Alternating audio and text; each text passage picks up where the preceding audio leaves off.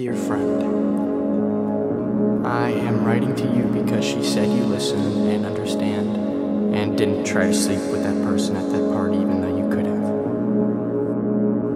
I just need to know that people like you exist. Like if you met me, you wouldn't think I was the weird kid who spent time in the hospital. If my Aunt Helen were still here, I could talk to her. I know she would understand how and sad, and I'm still trying to figure out how that could be. I just hope I make a friend soon. Love always, Charlie. Now out of play in the middle of the night, don't you mind?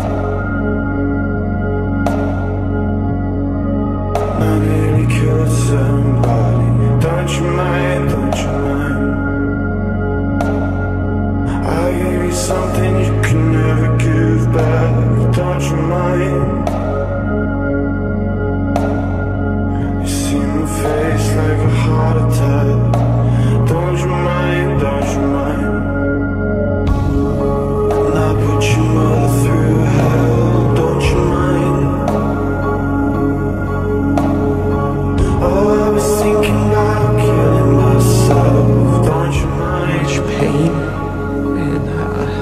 don't know how to not know this shit.